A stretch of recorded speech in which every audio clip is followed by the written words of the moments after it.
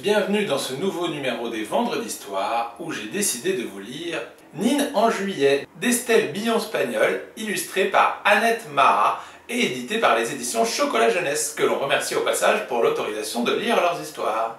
A votre avis, qu'est-ce qu'elle va faire, Nine en juillet? Il n'y a qu'un seul moyen de le savoir, c'est d'écouter l'histoire. À la première heure du premier jour du mois de juillet, Nine fut réveillée par une idée. Elle ouvrit ses rideaux et fixa au loin le plus vieil arbre du jardin. Le matin, elle rameutait sa fidèle troupe, ses cousins Bill et Rosie, et Mouche, le chien du voisin. L'après-midi, tout le monde travaillait au projet Cabane perchée. Le soir, l'aventure commençait. Tous les quatre, en haut du vieil arbre, avec une galette de grand mât, des duvets et une grosse lampe de poche, ils allaient s'amuser. La première nuit, Quelque chose a réveillé Nine, Rosie, Bill et Mouche. Comme un grondement, un souffle de bête. Rosie s'est mise à pleurer. Elle a dit que c'était le loup volant. Alors elle est descendue. La deuxième nuit. Rien à signaler.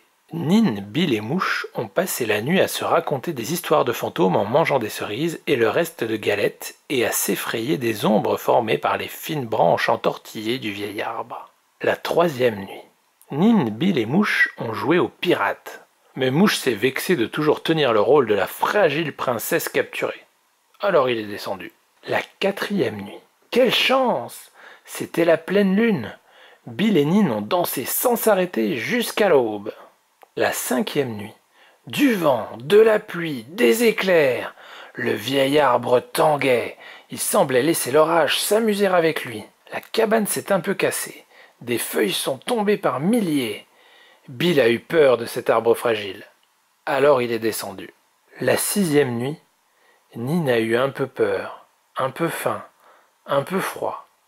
Mais elle n'est pas descendue. Elle s'est collée au vieil arbre, joue contre écorce, et l'a écouté. Et lui, il lui a chuchoté des secrets de vieil arbre. Fin. Alors ça vous a plu? Vous avez vu, Nin et sa bande ont construit une cabane dans un arbre et elle y a passé plusieurs nuits. Elle a d'ailleurs été la plus courageuse puisque c'est elle qui y est restée le plus longtemps. Néanmoins, attention, là on est dans une histoire donc ça ne pose pas de problème, mais lorsqu'il y a de l'orage, il ne faut surtout pas s'abriter près des arbres sous peine de risquer de se faire foudroyer. Donc là, c'était un peu dangereux. Il ne faut donc pas refaire ça chez vous.